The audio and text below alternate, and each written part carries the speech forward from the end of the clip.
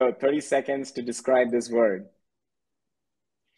Okay, so uh, uh, when you write code, what do you do? What's another word instead of writing code? You do what with the code? Or you, when you write an, an application, instead of using the word write the application, we as programmers, we do what with the code? We do what with the application?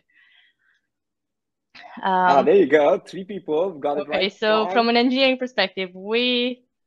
Um, there you go. The right answer was develop.